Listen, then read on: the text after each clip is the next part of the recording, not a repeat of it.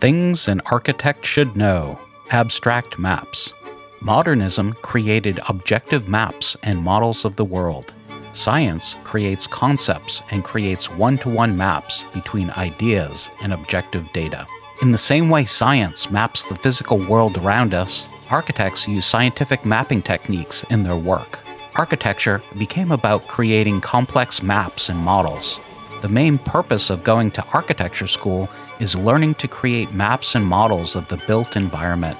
Architects are taught to use models of buildings and cities to meet the functional requirements of people and institutions. In architecture, maps and models are overlaid over the built environment making it impossible to tell what is real and what is man made.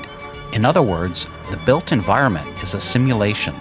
This social map overlays over the natural and built environments to create a new meta environment.